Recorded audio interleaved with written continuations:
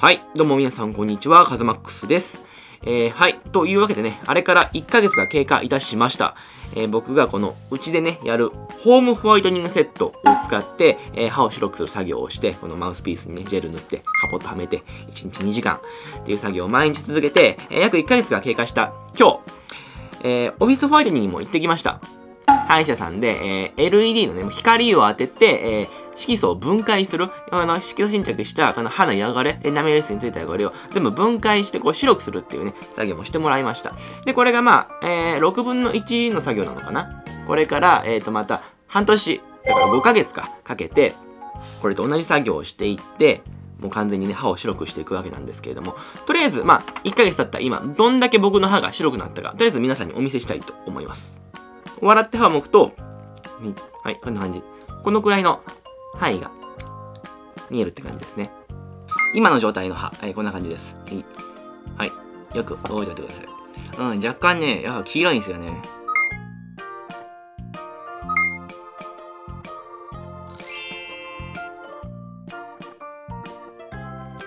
はい、こんな感じ。このくらいの範囲が見えるって感じですね。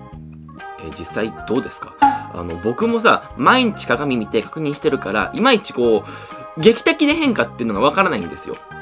だけど、あの、明らかに変わっているとは思う。劇的ではないけれど、なんかね、毎日ね、鏡見てると、なんかちょっとずつ、あれ？あれ？なんか若干、あれ？白くなってないか？みたいな、なんか、錯覚かなって思うくらいの微妙なね、差をね、感じる瞬間があるんですよ。で、なんかぬか喜びするのもあれやから、とりあえずお医者さんに聞いてみたんだよね。どうですか？ちょっと白くなってますかね？って 今日聞いてみたら、あの、歯科医師さんがね、あ、すごく順調ですと。順調も順調、ものすごく、あの、やっぱり毎日ね、あの、マウスピースはめて頑張ってるから、すごく清水さん、あの、カズマックスさん、めっちゃ順調に白くなっていますと。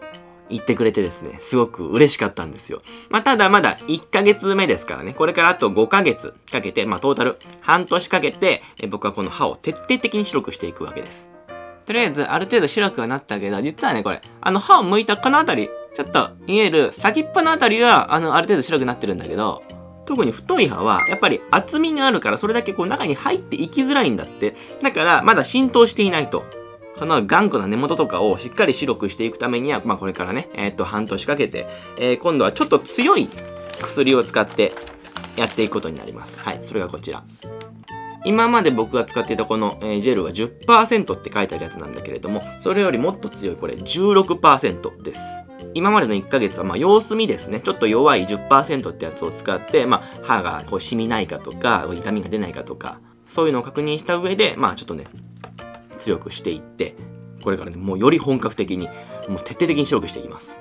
いや、ほんと順調に進んでいてね、これからがまあさらに楽しみではあるんですけれども、ただちょっとだけ気になった点とか、あとは気づいた点とかもあるんで、まあ少し話したいと思います。じゃあまず気になった点から。えっ、ー、と、このマウスピース、もらったやつなんですけれども、えっ、ー、と、1個しかもらってないんですよね。こいつを、もし破損させてしまったりだとかしたら、あの、また予備作んなきゃいけないしさ、なんか2個くらい欲しいかなとは思った。あと衛生面でも、まあ別にね、ちゃんと、まあ毎日しっかり洗っているから問題ないとは思うんだけども、やっぱりこういうとこをさ気にする方もいらっしゃると思うんですよね。できれば3ヶ月に一度とかはこう交換できるように予備を作っといてほしいなとか、あとはそうさっき話した破損ですね。えっと、こいつ、かなりやばいんで、熱湯とかをね、かけると溶けちゃうらしいんです。溶けちゃうっていうか、あの、ぐにゃぐにゃになっちゃうらしいんですよね。そういった事故とかも考えられるから、まあほんと予備は一つくらいあった方が良かったんじゃないかなとは思った。でもまあそれが唯一気になった点一つだけですね。で、あとは、あの、僕ね、このホームホワイトニングをしてる間、全然ね、コーヒーも飲めたんですよ。全然飲んでいいですよって言われて、色素沈着をしやすい飲み物に関しては特にあの制限なかったです。毎日欠かさずコーヒーをね、しっかりドリップして飲んで、それでも、うん、ちゃんとこんだけね、白くなったから、まあ安心ではありますよね。で、あと、今日の施術ですね。えっ、ー、と、オフィスホワイトニングを初めてしてもらったんですけれども、あの、まあその時も、特にね、痛みはなかったです。それどころか、もう途中から寝てました。あの、目隠し的なものをしてくれるんですよ。タオルみたいなものを骨にかけてくれて、口だけを出すようにしてくれるんですね。結構さ、大口開けて、こう、口を開けておくための器具もはめるから、まあ多分女性とかね、気にされる方もいらっしゃると思うんですよ。そういう面でも安心ですよね。もう爆睡して気がついたら終わってて、で、その施術をしたら、まあ、さらに、こう、一段階白くなっていて、うん、っていうか、みんなから見て本当にどう？こうやって普通に喋ってて、顔見て、白いと思う。まあ今まではね、黄色かったから、うー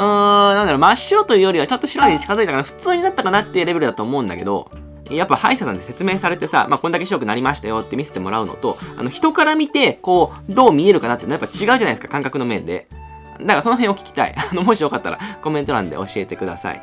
で、えっ、と、このホワイトニング企画、えっ、と、5ヶ月後かな、もう1本多分動画撮ります。最終章として、まあ僕の歯が半年かけてどうなったかっていうのを、まあ、まとめてポンと出したいと思うんですけども、まあそれまでもね、えっと、生放送とか、まあ動画とかあげるんで、もしよろしければ、あのちょこちょこチェックしていただけると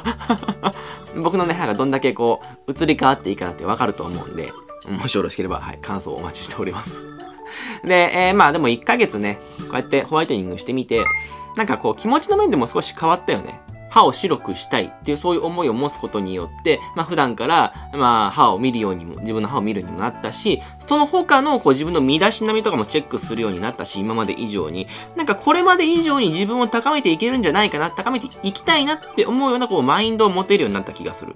まあ実際結果が出るかどうかはね、まあ別として、ただそういう気持ちを持つってことはもうこう、やっぱ自分をね、こう高めていくこと、ある意味で自分を成長させることにもまあ繋がるんじゃないかなって、こうポジティブマインドを持てるようになったかなっていう、自分にこう満足せずに次を見据えるっていう、まあ気持ちを、まあ、持つっていうか、なんかでかい話になってるけど。まあそんな感じの、心の動きも出たんで、まあすごくまあ全体的に見てすごくいい結果が出たかなと思いました。はい。というわけで、じゃあ今日は、えー、ホワイトニングを1ヶ月間僕がやってみて、どう感じたのか、で、どういう結果が出たのかっていう、まあ、中間報告と、えー、まあ、これからね、ちょっと強い薬でさらにやっていきますよというお話でございました。もしよかったら、あの、質問とかもコメント欄にお寄せください。はい。それではまた次回お会いしましょう。じゃあね。